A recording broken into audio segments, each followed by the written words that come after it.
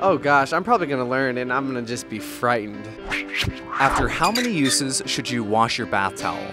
How many uses?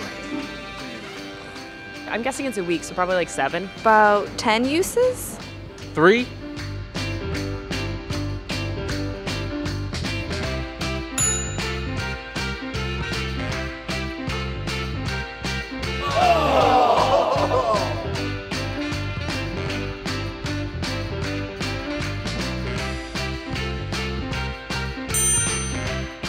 You know what though? What I realized, everything is gross as a human. The whole world is a giant cloud of bacteria. So if you don't want to wash your towel every three days, then you go ahead and live your best life.